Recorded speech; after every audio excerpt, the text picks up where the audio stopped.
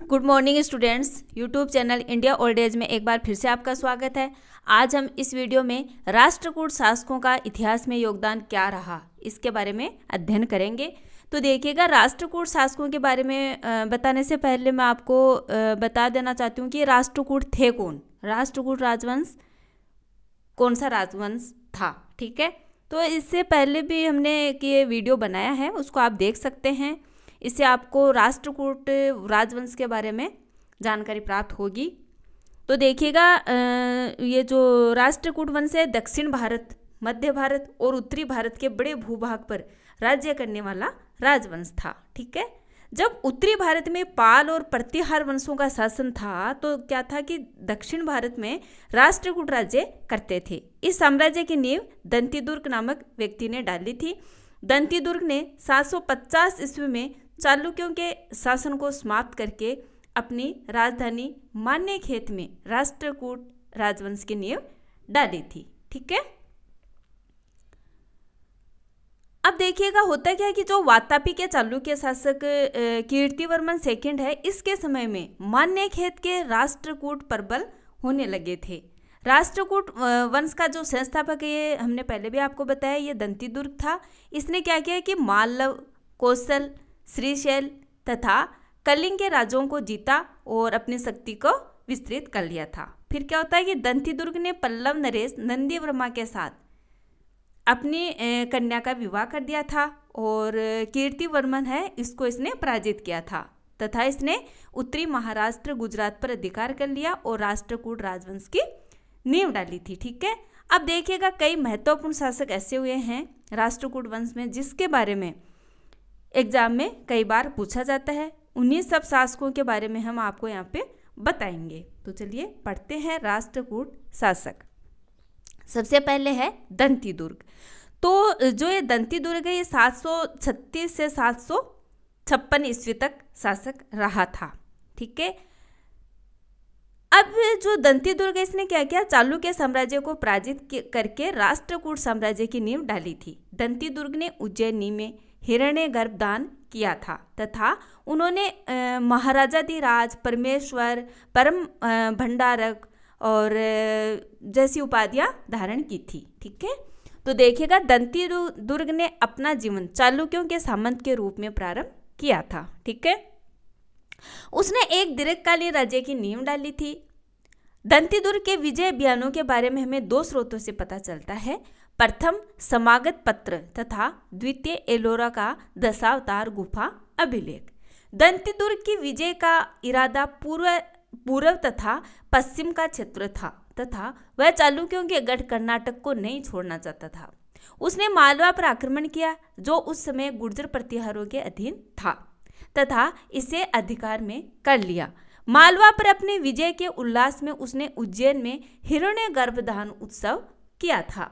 उसके कुछ दिनों के बाद वह मध्य प्रदेश के महाकौशल या छत्तीसगढ़ क्षेत्र में गया। उसके बाद उसने अपने स्वामी चालुक्य राजा कीर्ति कीर्तिवर्मन सेकंड पर आक्रमण किया तथा अपने आप को पूरे दक्षिण का स्वामी घोषित कर दिया। परंतु इस विजय के बाद वह ज़्यादा दिनों तक ज़िंदा नहीं रहा था। ठीक है? तो यह है आपका दंती दुर्ग।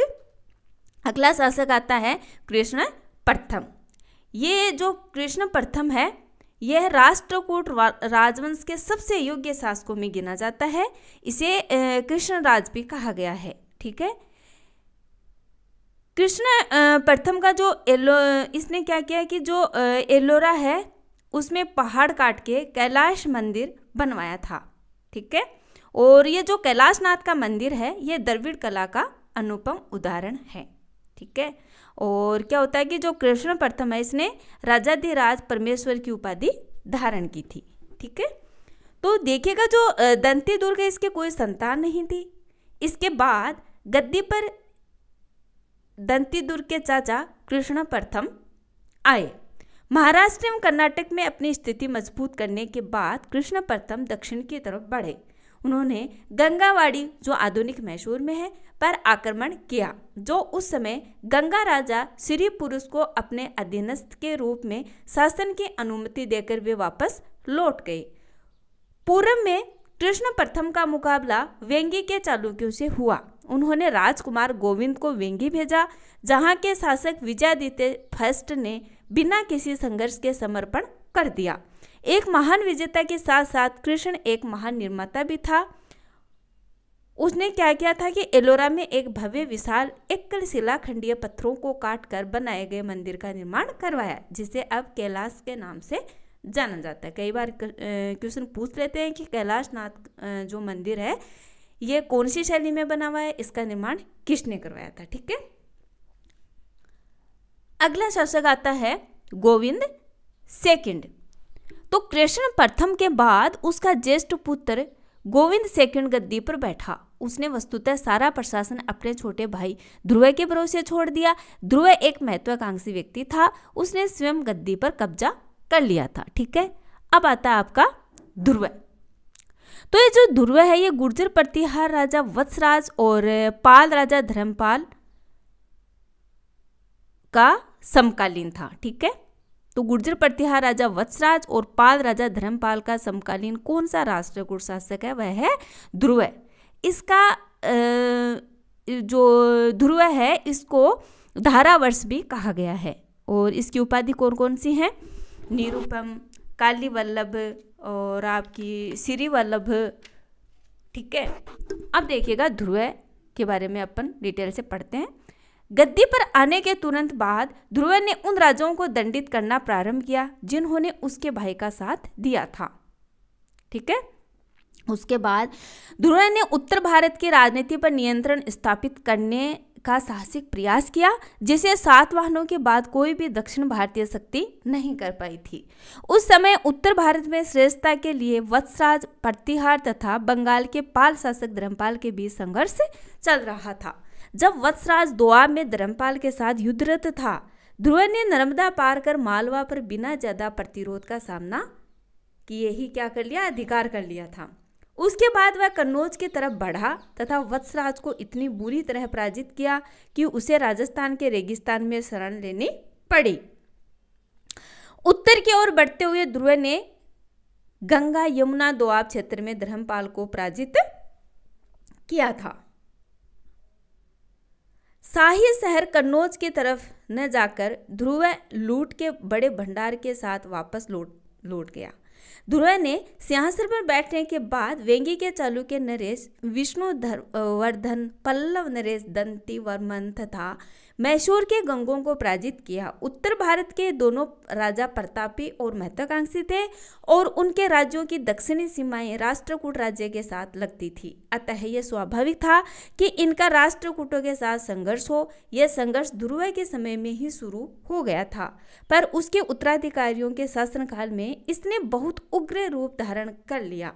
शुरू में ध्रुव की शक्ति अपने भाई गोविंद के साथ संघर्ष में व्यतीत हुई। अनेक सामंत राजा और जागीरदार ध्रुव के विरोधी थे और गोविंद का पक्ष लेकर युद्ध के लिए तत्पर थे। ध्रुव ने उन सबको परास्त किया और अपने राज्यों में सुव्यवस्था स्थापित कर दक्षिण की ओर आक्रमण किया। मैसूर के गंग वंश को परास्त कर उसने काची पर हमला किया और पल्लव राज को एक बार फिर राष्ट्रकूटों की दीनता स्वीकार करने के लिए विवश किया। दक्षिण की विजय के बाद वह उत्तर की ओर बढ़ा। सबसे पूर्व भिनमाल के गुर्जर प्रतिहार राजा वत्सराज के साथ उसकी मुठभेड़ हुई। वत्सराज परास्त हो गया। अब ध्रुव ने कन्नौज पर आक्रमण किया। इस समय कन्नौज का राजा कौन था? इंद्रायुद्ध था। ठीक है? अब क्या जो इंद्रारुद है, ध्रुव का सामना नहीं कर सका और राष्ट्रकूट विजेता की दीनता को स्वीकार करने के लिए विवश हुआ। ध्रुव, राष्ट्रकूट वंश का पहला शासक था जिसने कन्नौज पर अधिकार करने हेतु त्रिपक्षीय संघर्ष में भाग लेकर प्रतिहार नरेश, वत्सराज एवं पाल नरेश धर्मपाल को पराजित किया। उसने गंगा यमुना दोआब तक अधिकार कर लिया था। कन्नौज के राज्यों को अपना वंशवर्ती बनाने के उपलक्ष्य में ध्रुव ने गंगा और यमुना को भी अपने राज चिन्हों में शामिल कर लिया था। ध्रुव के चार पुत्र थे कौन कौन थे? कारक, स्तंभ, गोविंद और इंद्र। कारक की मृत्यु पिता से पहले ही हो गई थी। बाकी बचे तीनों बेटों में से राजा ने सबसे योग्य गोविंद को अपना उत्तराधिकारी चुना तथा युवराज बना दिया था। ठीक है? अब आता है आपका गोविंद थर्ड। अब देखिएगा, गोविंद शांति के साथ पद पे आया था। लेकिन शीघ्र ही उसे अपने बड़े भाई स्तंभ के विरोध का सामना करना पड़ा, जिसने गद्दी के दावे को निरस्त कर उसे राजा बनाया था। स्तंभ को पराजित करने तथा दक्षिण में अपनी स्थिति मज़बूत करने के बाद गोविंद ने भी अपना ध्यान उत्तर भारत की राजनीतिक स्थिति की तरफ़ मोड़ा। गोविंद ने उत्तर भारत की तरफ़ रुख किया तथा नागबट सेकंड को पराजित किया। नागबट दोआब को आक्रमणकारियों की दया पर छोड़कर राजपुताना भाग गया। कन्नौज के कठपुतली शासक चक्रायुद्ध तथा धर्मपाल ने बिना शर्त समर्पण कर दिया। शक्तिशाली गुर्जर प्रतिहार तथा पाल राजाओं के अलावा उत्तर भारत के दूसरे राजाओं को भी गोविंद थर्ड ने पराजित किया था। ठीक है? अब आता आपका अमोघ वर्ष फेस्ट। अब देखिएगा जो अमोघ वर्ष फेस्ट है, ये गोविंद थर्ड के बाद गद्दी पर सॉरी गोविंद थर्ड के बाद गद्दी पर उसका पुत्र सारवा आया, जिसे अमोक वर्ष के नाम से भी जाना जाता है, अर्थात अमोक वर्ष का दूसरा नाम क्या था? सार्व था। उसे अपने चौसठ वर्ष के लंबे शासनकाल में शांति नसीब नहीं हुई थी, ठीक है? उसे अपने शासनकाल में अपने सामंतों के अनेक विद्रोहों का सामना करना पड़ा तथा अपने शक्तिशाली पड़ोसियों से युद्ध करना पड़ा। अमोघ वर्ष में अपने पिता की विलक्षणताओं का अभाव था। मालवा तथा गंगावाड़ी उसके राज्य से छीन लिए गए। युद्ध के स्थान पर उन्हें शांति, धर्म तथा साहित्य में ज़्यादा रुचि थी। ठीक है? तो जो अमोघ वर्ष फ़र्स्ट है, इसे क्या है कि शांति, धर्म और साहित्य में ज़्यादा रुचि थी। और इसके जो दरबार में जिनसेन, जो आदि पुराण का लेखक है, महावीराचार्य, जो गणित सार का जो लेखक है, और ये मतलब दोनों क्या है, जिनसेन और महावीराचार्य, ये अमोघ वर्ष के दरबार में थे। और ये कन्नड़ के प्रसिद्ध ग्रंथ कविराज मार्ग और प्रश्नोत्तर मालिका की रचना इसने की थी। ठीक है? जो कन्नड़ के प्रसिद्ध ग्रंथ है, कविराज, मार्ग और प्रश्नोत्तर मालिका, इसकी रचना किसने की थी? अमोघ वर्ष ने की थी, ठीक है? अब क्या होता है कि जो अमोघ वर्ष है, इसके जीवन के का जो पहले का जो समय है, उसमें इसका झुका झुकाव है ये, जैन धर्म की ओर हो गया। तथा आदि पुराण के लेखक जिनसेन, उनके मुख्य शिक्षक हुए। तो जो अम्बोक वर्ष है, इसका मुख्य शिक्षक कौन था? जिनसेन। ठीक है? जो आदि पुराण का लेखक था। अमोघ वर्ष है, ये खुद भी एक लेखक था, तथा इसने साहित्यकारों को भी काफ़ी प्रोत्साहन दिया था। जैसे हमने पहले आपको बताया है कि कन्नड़ भाषा में कविता पर पहली पुस्तक कविराज मार्ग के लेखक कौन थे? अमोघ वर्ष फ़र्स्ट। उन्होंने मान्य खेत नगर का निर्माण करवाया, तथा वहाँ एक वैशाली महल भी वैभवशाली महल भी बनवाया था। अमोघ वर्ष ने मान्य खेत को राष्ट्रकूट की राजधानी बनाया। तो राष्ट्रकूट की, राष्ट्रकूट राजवंश की जो राजधानी है, वह मान्य खेत थी। ये किसने बनाई थी? अमोघ वर्ष ने। ये जैन मतावलंबी होते हुए भी हिंदू देवी देवताओं का सम्मान करते थे। जैनाचार्य के उपदेश से उसकी प्रवृत्ति जैन हो गई थी। अब आता आपका कृष्ण थर्ड। तो जो कृष्ण थर्ड है, ये राष्ट्रकूट राजवंश का अंतिम महान शासक था। इसके दरबार में कन्नड़ भाषा के कवि पम्पोन व रन जो दरबारी जो लेखक थे, वो रहते थे। और ये जो तीनों कवि हैं, ये कन्नड़ भाषा के त्रिरत्न कहलाते थे। तो कन्नड़ भाषा के त्रिरत्न कौन कौन थे?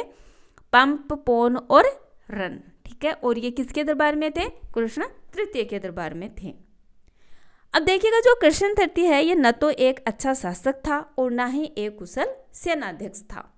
उसकी एकमात्र उपलब्धि गुजरात शाखा की समाप्ति थी। वह सिर्फ़ अपने आप को भोज फेस्ट के विरुद्ध खड़ा कर पाया तथा वेंगी और चोलों के साथ उसके युद्ध काफ़ी विनाशकारी सिद्ध हुए। अपने पिता अमोघ वर्ष की तरह कृष्ण भी जैन धर्मावलंबी अब अगला शासक आता है इंद्र थर्ड। कृष्ण सेकंड के बाद उसका पोता इंद्र थर्ड आया। अपने महान पूर्वजों का गौरव बढ़ाते हुए इंद्र ने गुर्जर प्रतिहार राजा महिपाल के साथ युद्ध छेड़ दिया। उसने कन्नौज पर अधिकार कर लिया। वेंगी के शासकों के लिए समस्याएँ उत्पन्न कर उसने अपने प्रतिनिधि को वहाँ की गद्दी पर बिठा दिया था। अब आता है अमोघ वर्ष सेकंड। इंद्र सेकंड के बाद उसका पुत्र अमोघ वर्ष सेकंड आया, परंतु गद्दी पर आने के एक वर्ष के अंदर उसकी मृत्यु हो जाती है और उसकी जगह उसका छोटा भाई गोविंद आता है।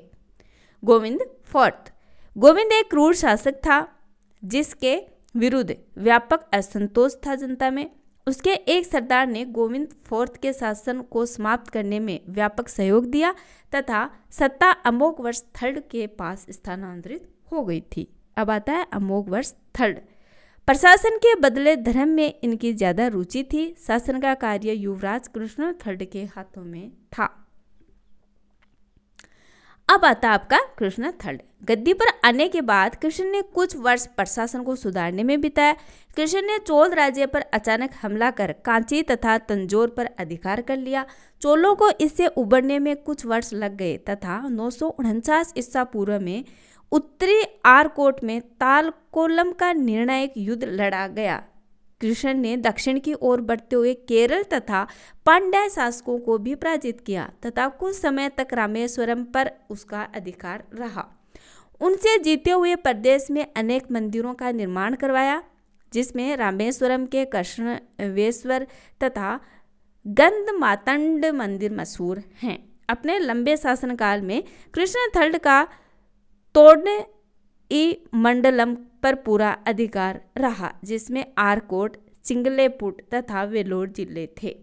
अपने अधिकांश पूर्वजों की तरह है कृष्ण थर्ड ने भी वेंगी के मामले में रुचि ली, परंतु वेंगी में राष्ट्रकूट शासन ज़्यादा लंबा नहीं चला। अपने शासन के अंतिम दिनों में कृष्ण ने मालवा के परमार शासक हर्ष सियाक पर आक्रमण किया तथा उज्जैन पर अधिकार कर लिया। कृष्ण के समय से राष्ट्रकूट शासन का पतन प्रारंभ हो जाता है। वह राज्य के उन सामंती गतिविधियों से अनभिज्ञ था, जो राज्य के बीचों बीच स्थित तार दावड़ी को जागीर के रूप में तैलप के देने से उत्पन्न हुई थी, ठीक है? तथा जिससे राज्य की स्थिरता को खतरा था। कृष्ण की मृत्यु के कुछ वर्षों में ही तैलप इतना शक्तिशाली हो गया कि उसने राष्ट्रकूटों को उखाड़ फेंका तथा कल्याणी के पश्चिमी चालुक्य वंश की स्थापना की, ठीक है? अब आता है खोटिक। तो कृष्ण थर्ड के बाद उसका भाई खोटिक आया। उसके शासनकाल में राष्ट्रकूट राज्य को गहरा धक्का लगता है, जिससे उसकी प्रतिष्ठा नष्ट हुई। परमार राजा सीय कर्षण थर्ड के हाथों अपने पराजय को भूल नहीं पाया था तथा बदले की ताक में लगा था। सियाक ने राष्ट्रकूट राजधानी मालखेत पर आक्रमण किया तथा कोटिक इस अपमान के साथ ज़्यादा दिनों तक ज़िंदा नहीं रह पाया। उसके बाद उसका भतीजा करक सेकंड आया। करक सेकंड, जब करक गद्दी पर आया, उस समय तक राज्य की प्रतिष्ठा को काफ़ी नुकसान हो चुका था। नए राजा के कुशासन के कारण स्थिति और भी खराब हो गई थी। सामंत स्वाभाविक रूप से केंद्रीय शक्ति को चुनौती देने लगे तथा उनमें से एक ने गद्दी पर आने से 18 महीने के अंदर करक से उसका दक्षिण का राज्य छीन लिया और वह था चालुक्य वंश का तेल सेकंड, जिसे तेलप भी कहा गया है। अब देखिएगा इंपॉर्टेंट बात यह है कि तेलप द्वितीय है ये विक्रमादित्य चतुर्थ तथा बोनथा देवी से उत्पन्न हुआ था। पहले वह राष्ट्रकूट शासक कृष्ण तृतीय की दीनता में बीजापुर में शासन कर रहा था। धीरे धीरे उसने अपनी शक्ति का विस्तार करना प्रारंभ किया। कृष्ण तृतीय के उत्तराधिकारियों, जिनमें खोटिक तथा कृष्ण कर्क द्वितीय के समय में राष्ट्रकूट वंश की स्थिति है, वो कमज़ोर हो गई थी। महत्वाकांक्षी जो तेलप है, इसने इसका लाभ उठाया और नौ सौ तिहत्तर चौहत्तर ईस्वी में उसने राष्ट्रकूटों की राजधानी मान्य खेत पर आक्रमण कर दिया। युद्ध में कर्क है, वह मारा गया तथा राष्ट्रकूट राज्य पर तेलप का अधिकार हो गया था, ठीक है? तो देखिएगा इस वीडियो में हमने राष्ट्रकूट शासकों के बारे में जानकारी प्राप्त की।